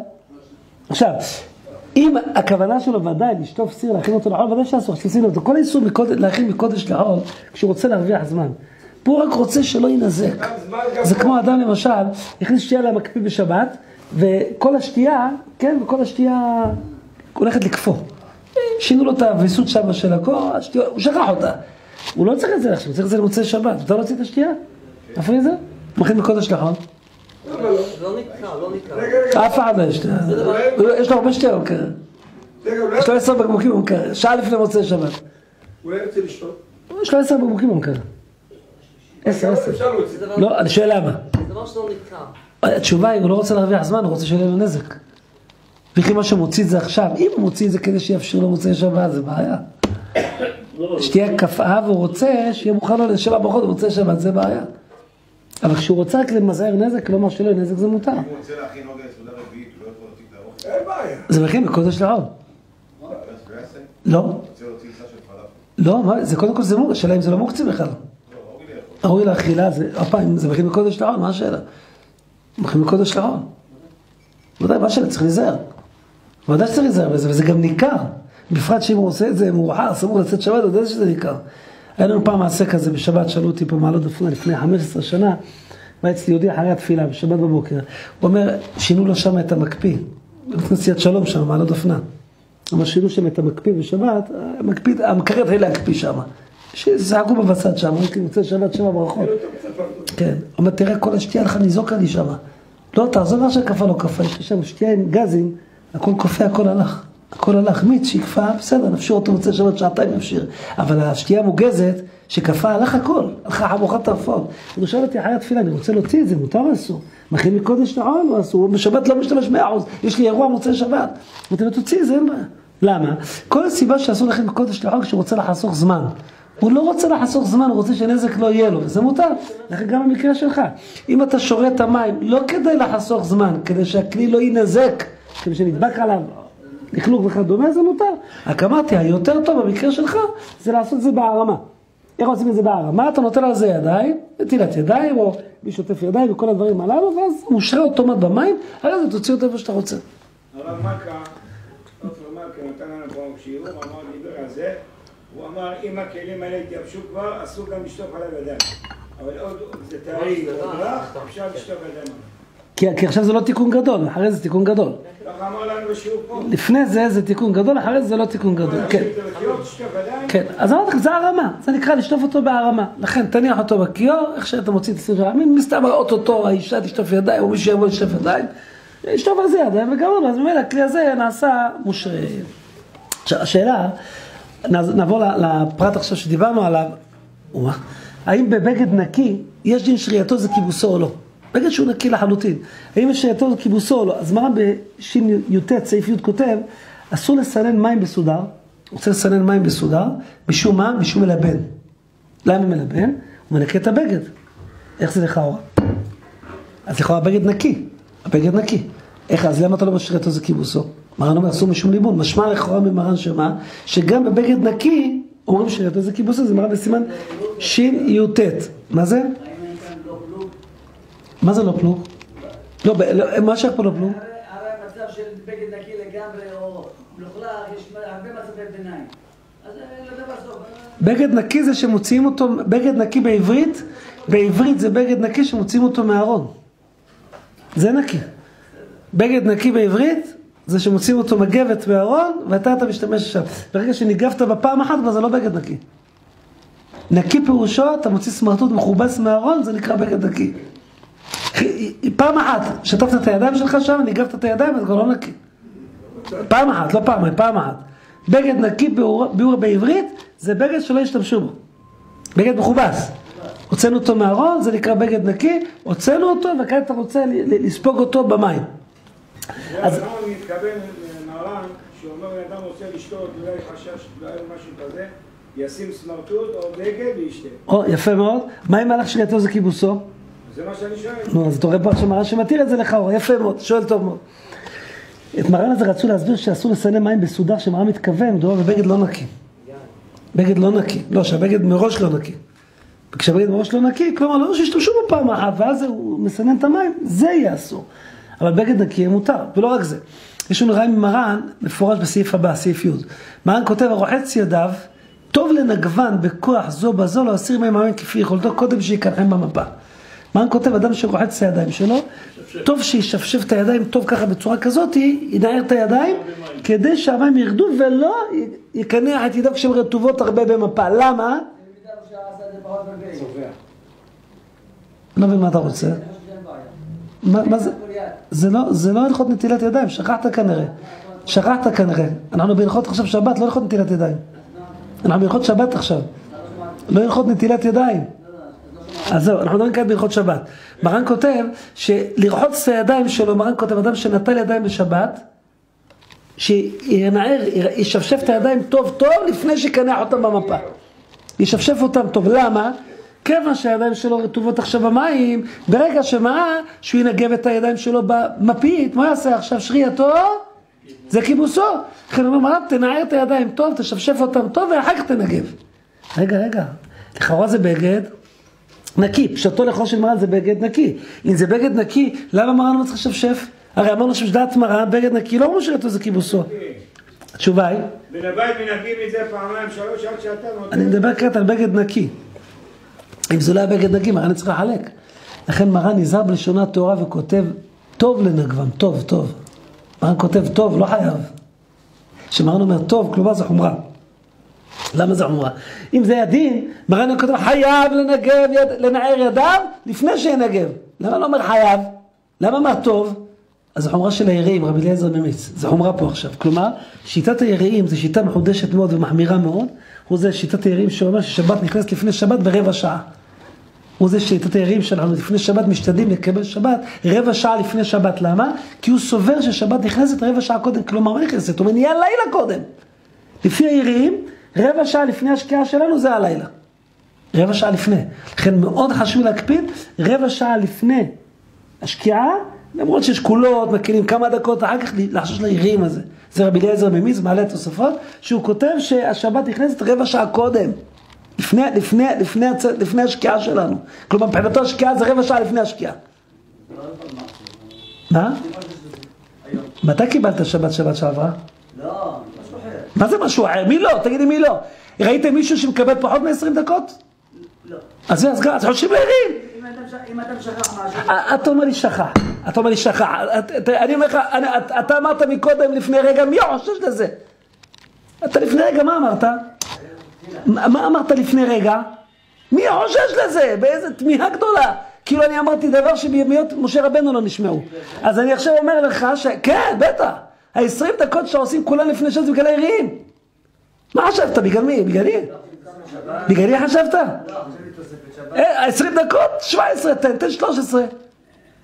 אלא בכוונה, לא, אל תתבלבל. בכוונה אמרו 20 דקות, בכוונה יש לנו את היראים מגולם בתוכו, יש לנו את היראים. ומעל היראים תוספת שבת. ומעל היראים הזה, עם ה-15 דקות, שמו לך עוד 5 דקות. יש לנו תוספת שבת, זה כדי לצלות דג וכולי, 5 דקות. זה מנהג ירושלים, תבוא עליהם ברכה. אבל אני מדבר כעת על ה-20 דקות. ה-20 דקות זה בגלל היראים הזה. ולכן, רוב ככל עם ישראל, רוב ככל, עושים את מי לא עושה את 20 דקות? תגיד לי מי לא? אחד נאנס, קרא, היה בדרך, ולא הכין משהו, ושרה פה, שרה שם, שרה פלטה, שור שבת, בסדר, זה סיפור אחר. כולם שוכחים בערב שבת דברים? לא. רוב העולם, לא- רוב העולם לא שוכח, רוב העולם. נוסעים עוד שקיעה. עוד פעם, זה הנוסעים. מה אתה רוצה מהנוסעים עכשיו? אנחנו מדברים על הנוסעים או על האנשים הנורמליים? הנורמליים מקבלים כמו שאמרתי. עכשיו, לפי זה, מובן טוב מאוד, שימו לב טוב. היראים הוא זה שסובר שגם בבגד נקי, אומרים שרייתו זה כיבוסו, וגם דרך לכלוך. למרות שאתה מנגב ידיים זה דרך לכלוך. חביבי, אני לא בנית לך בזאת, אני ידיים שלי קצת מלוכלכות. אז אני מנגב ידיים שנטלתי עכשיו, שהיו מלוכלכות מקודם, עכשיו שטפתי אותן, אז הניגוב שלי הוא דרך לכלוך. אז גם דרך לכלוך זה אחד, שתיים, גם בגד נקי, שתי סיבות להגיד שיהיה מותר. היראים מחמיר בשתי האופנים האלה. גם דרך לכלוך וגם באופן שהבגד נקי, שייתו זה כיבוסו, הוא מחמיר. מרן חשש קצת ל- ליראים הזה, ולכן מרן מה כותב? מרן כותב, שימו לב טוב, טוב לנגבם. כלומר, טוב שאתה תנער אותם בכוח זו בזו ככה, בצורה כזאת, כדי שהמים יצאו, כבר סיימנו, כדי שהמים יצאו מהיד, למה? כדי לחשוש, לשיטת הירים. אבל ממרן למדנו שכתב בלשונה טהורה טוב, כלומר שזה לא מעיקר הדין, זה חומרה. לכן, אדם בשבת, מפה למדו חמציון עליו השלום, חמדי גם כתב את זה אותו דבר. פעמים בשבת אדם, יש לו מישהו לא על אף אחד, יש לו חום בבית. רוצים לעשות לו קומפרסים, לצנן לו את המצח שלו קצת מהחום שיש לו. מה רוצים לעשות? להוציא מגבת מהארון, להוציא סמרטוט מכובס. יש אנשים שיש להם סמרטוטים מכובסים בארון, אה, גופיות או דברים כאלה, שומרים אותם בארון לעת מצוא, שצריכים להשתמש בהם לשרייה וכדומה. אז הוא לקח בגד מכובס, סמרטוט מכובס, מרטיב אותו במים, מרטיב אותו במים גם הרבה, בגד נקי. מכתיב אותו במים ושם אותו על המצח של החולה כדי שיקל מעליו מהחום שלו, זה מותר. למה זה מותר? כי מעיקר הדין אנחנו לא פוסקים כמו יראים, זה חומרה. מה שמרן כתב זה חומרה. עכשיו איש שזה חולה מסכן, זה יש לו חום גבוה, צריך לעזור לו עכשיו להקל מעליו. אז אם לא נקל לו, למי נקל? אם לחולה לא נקל, למי נקל? לכן, נכון מה שמרן כתב, טוב להיזהר, בסדר, ודאי טוב להיזהר. אבל לחולה הזה, איך נזהר עליו? מסכן יש לו חום. אם לא, אם לא תעשו לו את זה, יסתכן אולי, יכביד עליו חוליו.